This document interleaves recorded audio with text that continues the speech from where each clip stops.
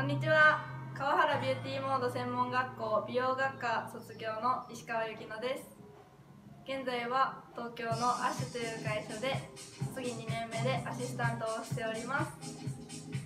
仕事のやりがいはお客様にありがとうと言ってもらえることやお客様の笑顔が見れることです。